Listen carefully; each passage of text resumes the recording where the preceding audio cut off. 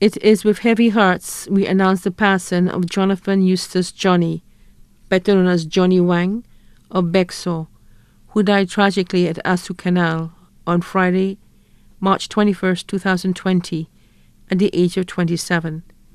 The funeral service for the late Jonathan Eustace Johnny, better known as Johnny Wang, will be conducted at the Zion Seventh-day Adventist Church, L'Abbaye, on Sunday, April 19th, 2020, at 2.30 p.m., and the body will be interred at the L'Abbaye Cemetery.